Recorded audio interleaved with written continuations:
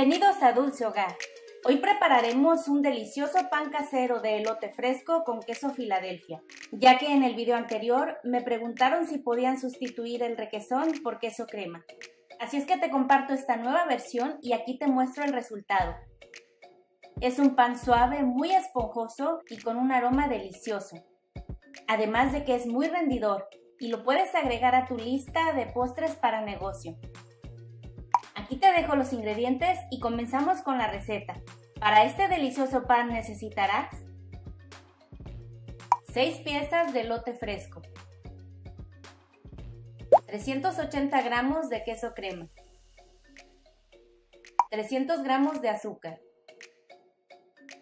6 huevos, 120 mililitros de leche, 225 gramos de mantequilla sin sal a temperatura ambiente.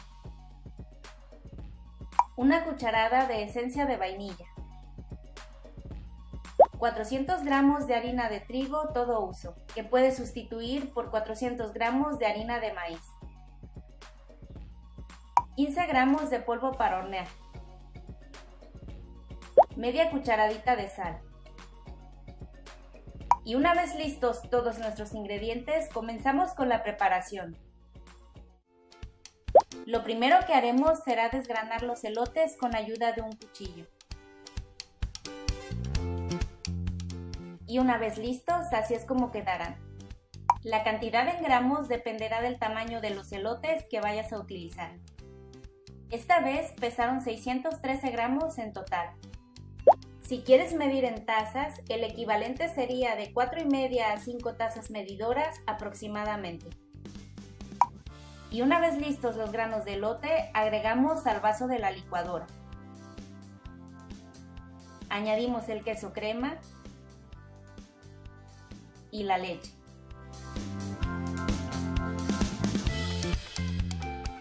Cubrimos y llevaremos a licuar hasta obtener un puré.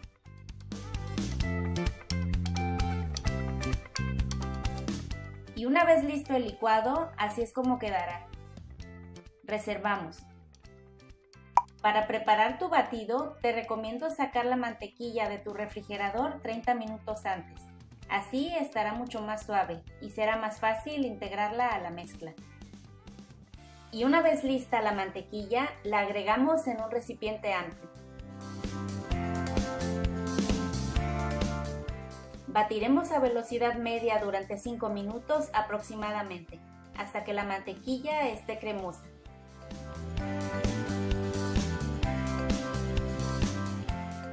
Una vez obtenida esta consistencia, ahora agregaremos el azúcar.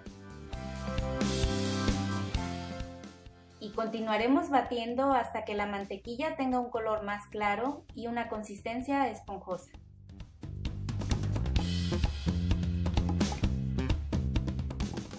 Una vez que se ha integrado la mantequilla con el azúcar, agregaremos los huevos de uno en uno, esperando a que se integre el primero antes de añadir el siguiente.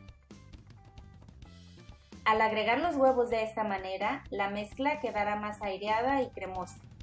Así obtendremos panes muy suaves y esponjosos después de hornear.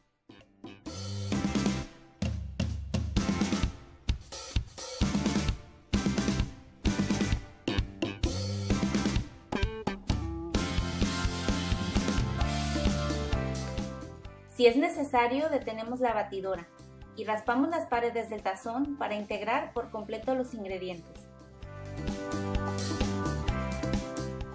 Batimos un poco más.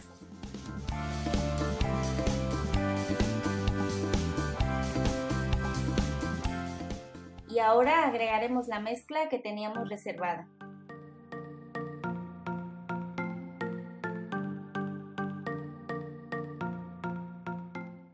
Agregamos la esencia de vainilla y batimos muy bien hasta integrar.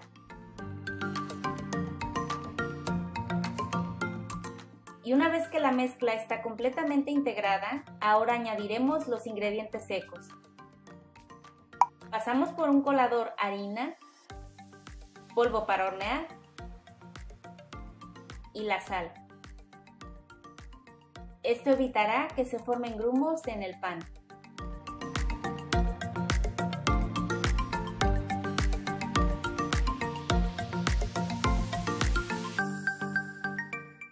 Batiremos nuevamente hasta que se integren por completo los ingredientes. Te recomiendo comenzar batiendo a velocidad baja para evitar que la harina salga volando.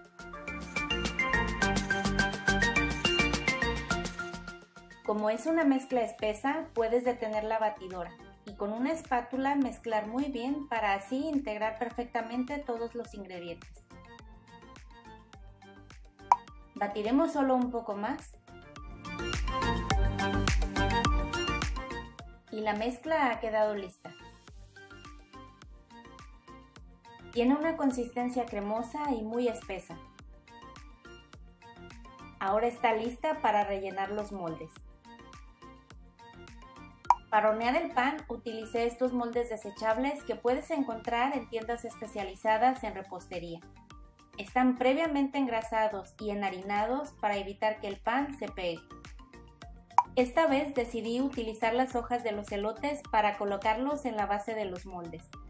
Las hojas ayudan a que sea más fácil desmoldar las piezas, además de que le dan una bonita decoración a nuestros panes. Colocamos la hoja al centro del molde y agregamos la mezcla hasta tres cuartas partes de su capacidad. Puedes usar una cuchara o despachador de helados para que sea más fácil rellenar. Cuando utilices las hojas, ajustalas a lo ancho de los moldes que vayas a utilizar. Te recomiendo seleccionar las hojas más tiernas ya que son más flexibles.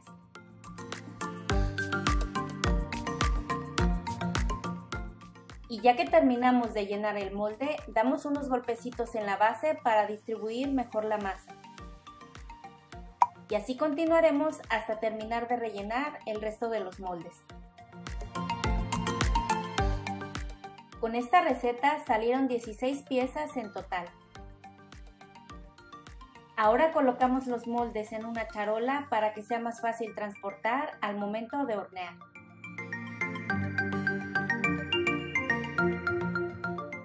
Y una vez lista, llevaremos a hornear con horno precalentado a 180 grados centígrados durante 45 minutos aproximadamente. Recuerda que cada horno puede variar, así que es importante cuidar para evitar que el pan se queme.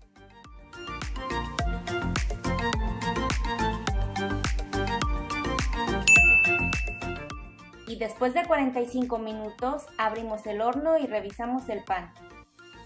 Deberá tener un color dorado en la superficie. Para confirmar la cocción, pinchamos al centro con un palillo y si este sale limpio quiere decir que el pan ya está. En caso de que salga con un poco de humedad, déjalos hornear durante 5 minutos más. Y una vez terminada la cocción, sacamos del horno. Dejaremos enfriar un poco antes de desmoldar. Y miren lo fácil que se desprende el pan del molde. Huelen delicioso. Te recomiendo engrasar tus moldes con manteca vegetal en lugar de la mantequilla, ya que la manteca vegetal resiste aún más el calor al momento de hornear. Y miren qué delicioso se ve este pan recién salido del horno. Queda suavecito y muy esponjoso. Ahora los colocaremos sobre una rejilla para evitar que generen humedad. Para sacar del molde solo los tomas de las hojas y listo.